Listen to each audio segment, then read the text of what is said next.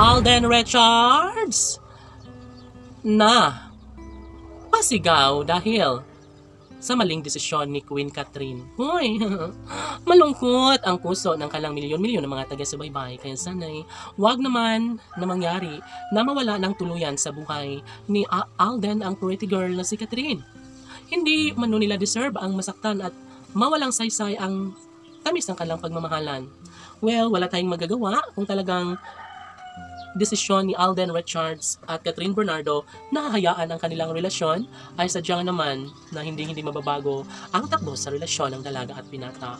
Mariing inamin ng dalaga na sadyang hindi hindi na magiging maisakatuparan ng isang pag-ibig lalo na desidido na si Alden na pakawala na lang siguro si Queen Catherine. Ngunit, huwag naman sana dahil sadyang sayang lamang ang kanilang pagmamahalan sa isa't isa.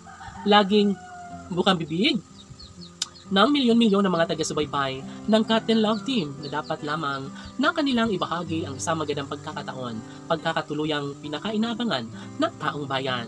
Sadyang hindi na maaali sa isipan ng milyon-milyon ng mga tagahanga ng Cat and Love Team, lalo na ito lamang ang relasyong tunay na nagbibigay saya at kaligayahan sa taong bayan.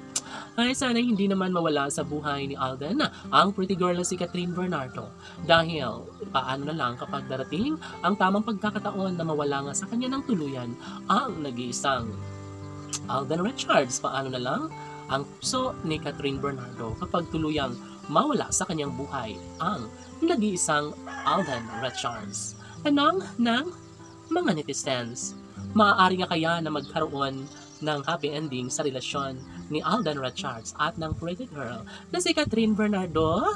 Posible nga kaya na magkaroon ng pagkakatagumpay sa relasyong tunay na nagbibigay saya at kaligayahan? 10 milyon ng mga tagahanga ng Cat and Love Team.